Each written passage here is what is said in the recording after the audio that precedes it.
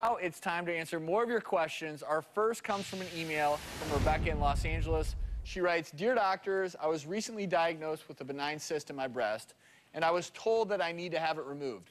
What can I expect, and should I worry? Since Rebecca's question is so common, we brought her here along with Dr. Kristi Funk, a surgical breast specialist, to help us answer it. Welcome, ladies. Hello. Thank you. Hi, Kristi. Great to be here. Hi, Dr. Hi there, Rebecca. Hi. Thank you so much for coming. Sure. And this is this is so important for women out there to get this information. First of all, what exactly is a cyst?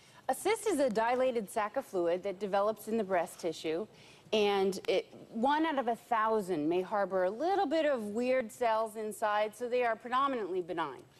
But it is a breast mass, and if a, if a woman finds it, I mean, it can be a, a big source of stress and concern. Oh, you could have a woman writing her will, and, And she's just Are scared to death it's cancer. women more predisposed to get cysts? Certain women are. Cer- certainly women headed toward menopause. So in your 40s is the most mm. common time to get cysts. And then if you're postmenopausal and taking hormone replacement therapy, that extra boost of hormones will generate cysts in your breast. So very common. 50% of women have cysts and 20% can actually feel them. So if a woman is feeling a cyst, will she be able to tell the difference between that and a, maybe a more malignant growth? She'll never know.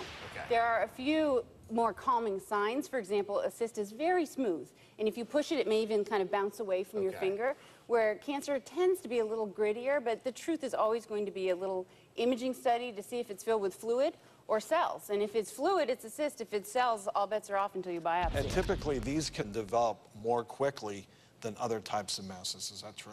Very true. Sometimes, uh, particularly ovulation, something that would trigger a hormone surge, you can go to bed without it and wake up with it, which is, it's not concerning to me. That makes me think it is a cyst. but to the woman, scenario. it's panic Because time. I know in Rebecca's case, she had a mammography back in October, which she was told was relatively clear, and then she finds this pretty sizable mass in her breast that, uh, I mean, it really freaked And her out. And your point is that if there's no mass and there's a mass the next day, more likely to be a cyst. Much more likely to be a cyst. However, there's always that day a woman does feel a mass, and it does turn out to be cancer.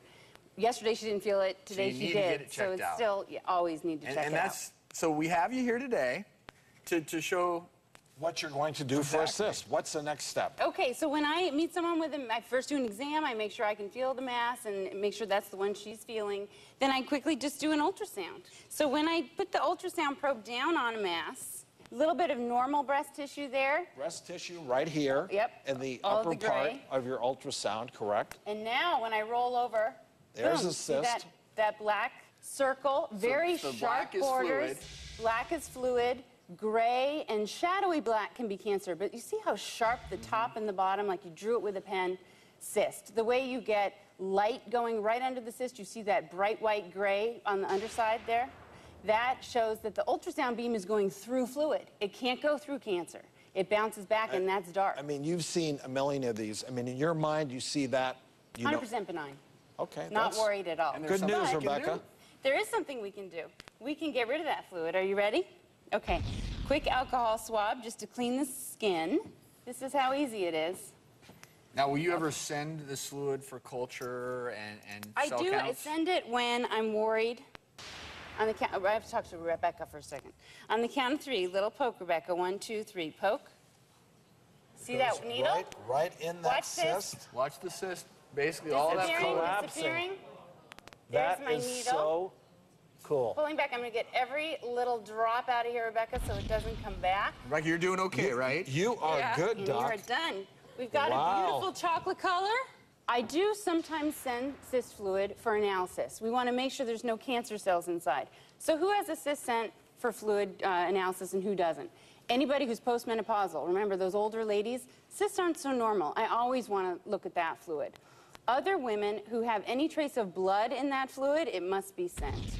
And finally, if I aspirated this cyst on Rebecca two weeks ago and she came back to see me and it's there already again, that's odd. I want to send the fluid. How about just a history of breast cancer? I know Rebecca has history in her family. Does that make a difference whether you send the sample or not? Honestly, no, but I always give the patient the option because to her, it feels more likely that this could be cancerous, so she wants the extra reassurance. But in truth, having a family history and a gorgeous, perfect, simple cyst like that on ultrasound doesn't worry me at all. That wasn't too bad, was it? No, I, didn't, I hardly felt I it. think I think that's so important for women out there to the know how simple and easy and that mass is gone. So now when Rebecca, what she was feeling before is gone. It's gone and it won't come back. Okay, how about I want you to help me out on this. How about some helpful tips what women can do to prevent cysts from forming? I know they're hormonally based, so Very true. Hormonally based. So if you're having a real cyst problem, like they're painful and they're recurring, taking birth control pills can actually mellow it out and take the cysts away. Stopping hormones, if you're a 60 year old lady taking them, will make those cysts go away.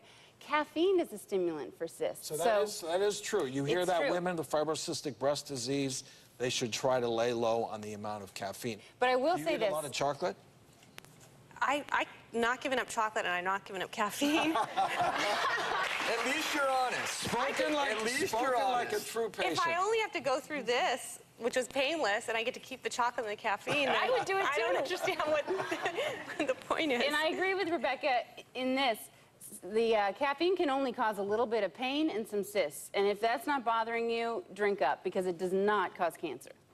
And- Caffeine does not. And sodium intake? Sodium makes you retain water. So if you already have some cysts, those are going to get bigger. So watch your So salt. watch your salts. And we always say this on the show, but one more time, women, get to know your breasts, self-exam. If you do find a mass like Rebecca did, don't wait on it. Don't be scared. Go see your breast specialist. I agree. Thank you advice. both. Thank you.